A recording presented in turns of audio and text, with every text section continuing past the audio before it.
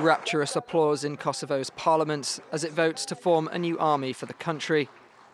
Having carried out only civil security operations up to this point, the Kosovo Security Force, as it is known, is now entrusted with defending the country's territory.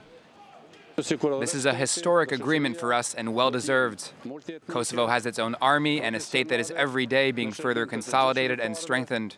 The Kosovo army will be multi ethnic and professional in service of all citizens for peace in Kosovo, the region, and wherever it is needed. Some Kosovans celebrated the news on the streets of the capital, Pristina. It's enormously emotional. We're happy that the creation of our country is being completed. It's a big step for Kosovo. We will secure our own state. The legislation is backed by the United States, who have steadfastly supported the country for more than 20 years. On the Serbian side, though, the vote comes as bad news as it will in Mitrovica, a divided town in the north of Kosovo where there is a significant Kosovan Serbian community. Belgrade denounced the decision.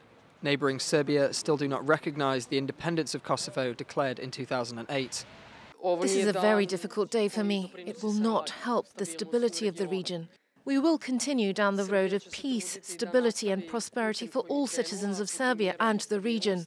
I firmly believe that Serbia cannot be stable in an unstable region, and we should talk about making a better future.